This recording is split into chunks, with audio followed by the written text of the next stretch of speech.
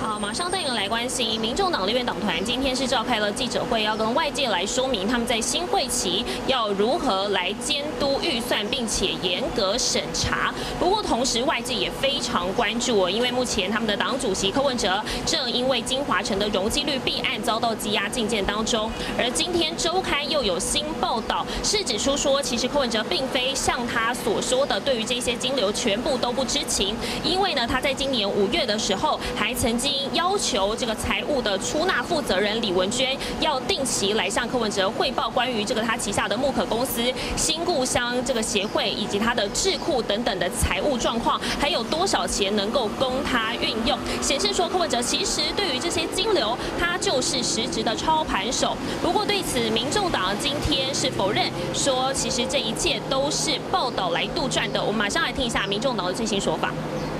我会想问一下时事的问题，就是《镜周刊》今天又出了多篇的报道，是在说，就是柯主席其实是掌握这个财务金流的。那他其中有提到说，在五月的时候，呃，有对于这个七十八万的交际费，就是有一些意见说要暂停这个交际费使用。但据了解，好像这个交际费也算是用在一些正当的用途。那有柯主席当时是怎么说的？那呃，他同时也是被质疑说，那他花了四千三百万在买这个商办的时候，没有考虑到。钱有用这么多吗？谢谢。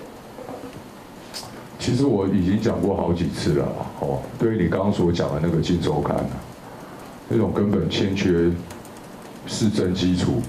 不晓得又是哪里听来的消息写的科幻小说，真的没有什么评论啊的必要。